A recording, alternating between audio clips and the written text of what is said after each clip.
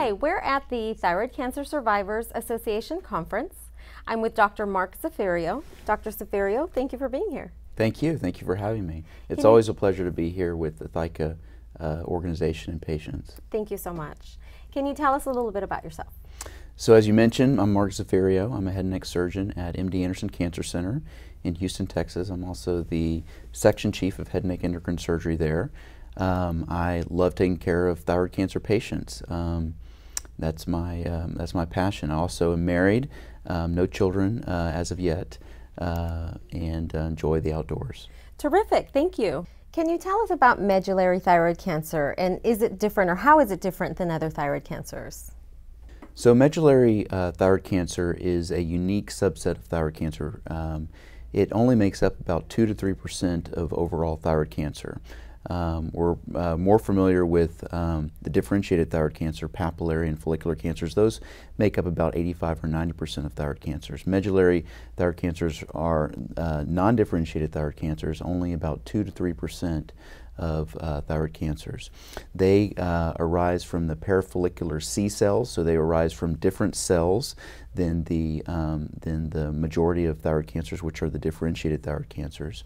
Um, and they behave differently. So um, they secrete certain hormones. Um, they secrete a hormone called calcitonin. They also produce an antigen called carcinoembryonic antigen.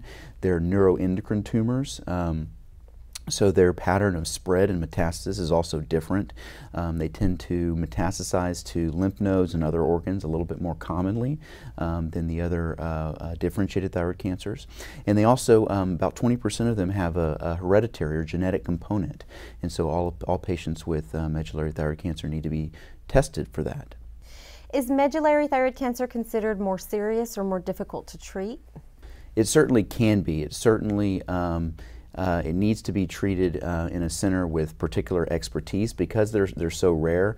Again, um, you know, out of out of 100 thyroid cancer patients, only two of the, two or three of those will be medullary cancers, and so many physicians may only see one a year, or they may they may, never see medullary thyroid cancer. So it really needs to be treated in a specialized center where there are expert surgeons, expert endocrinologists, and and, and medical oncologists who really take care of this uh, of these types of patients, who study the disease, who have the clinical trials uh, available um, to study the, um, uh, this particular um, cancer.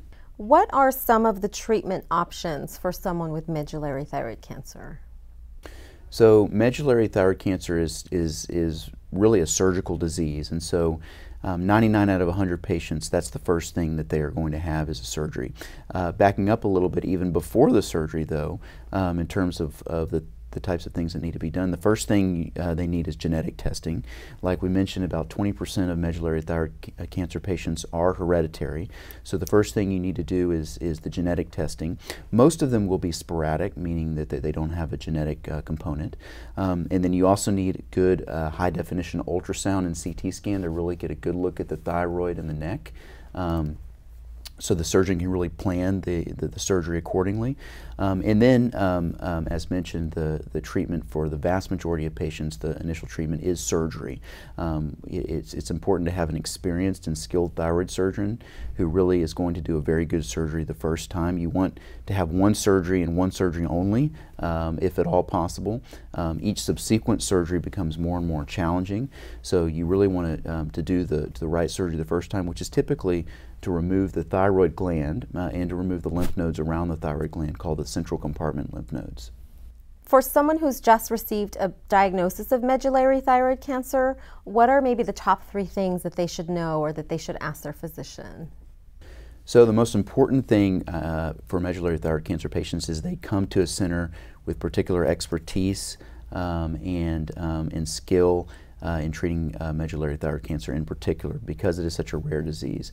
And that will include a consultation with a surgeon, a medical uh, oncologist, or an endocrinologist, uh, both um, as well as um, skilled radiologists to do a really good high definition ultrasound and CT scan uh, in many cases, um, and a good um, uh, genetics counselor also to review sort of the, the issues that can be associated with the, with the um, uh, patients who have genetic uh, associated uh, hereditary medullary thyroid cancer.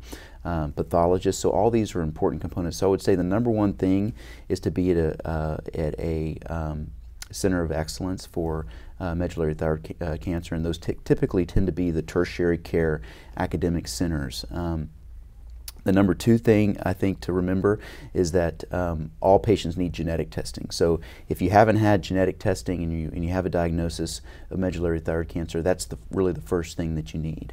Um, and then you need um, third thing you need is the is the is the good high definition imaging and ultrasound and CT imaging, and then all of that um, uh, really helps the surgeon to do the best surgery for the patient. Great, thank you. So let me shift a little bit and now talk about someone who's had medullary thyroid cancer for a long time mm-hmm. or has gone through that initial surgery. What can they expect over the long term?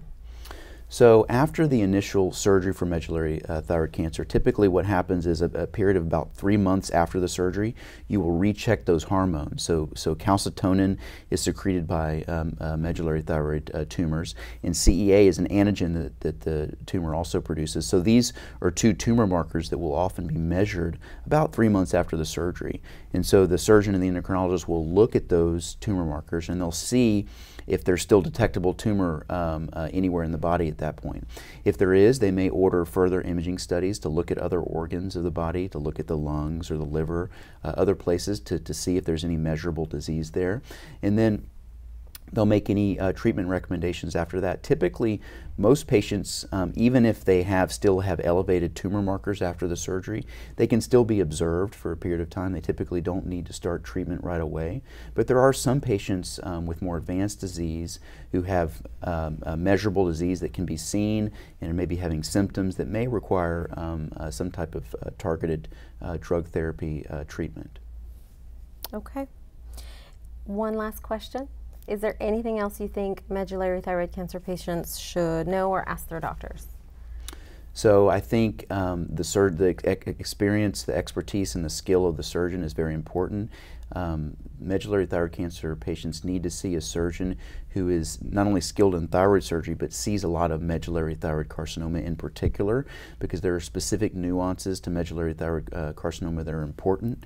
As mentioned, you know you have to remove the whole thyroid and the central compartment lymph nodes. Um, medullary thyroid carcinoma commonly spreads to these lymph nodes, so you don't want a situation where you just have your thyroid removed, for example, and not the lymph nodes, and then you see another surgeon and, and they're in a situation where they would have to do a second surgery to remove those lymph nodes. Those are all situations you want to avoid. So seeing that right surgeon the first time with the particular passion, experience, and expertise in treating patients with medullary thyroid carcinoma, I think is very important. Um, the second thing I would say for medullary thyroid carcinoma patients is that there's a lot of hope and a lot of um, optimism for the future. So, um, you know, medullary thyroid carcinoma, you know, is, is commonly referred to. It's not one of the good thyroid cancers. It's it's one of them can be one of the more aggressive thyroid cancers. Often patients can have uh, disease that's elsewhere in their body, but still these patients uh, typically do very well. It's not universal, but most patients do very well. In most patients, it's it's a slowly growing disease over time um, that, um, that can be managed over a long period of time. And it can be managed effectively um, most of the time at the beginning with just observation. You just kind of follow along, make sure the disease is not growing too quickly. And then over time, you may need to, to, do, um, to do some type of drug therapy. And there are a lot of, um, there's two FDA approved drugs for medullary thyroid carcinoma, but there are a lot of newer drugs that we're, we're currently studying in clinical trials that are targeting specific mutations. And these drugs are continuing to be studied and, and offer a lot of hope hope for the future for patients with more advanced medullary thyroid cancer. Let's end on that note. Uh, a message of hope for those with medullary thyroid cancer. Dr. Zafereo, thank you so much for being here today. And thank you so much, Victoria, and thank you so much for ThyCa for bringing us all together. It's such an honor and pleasure to be here with, with so many um, patients and to be able to share our expertise and experience with them. Thank you.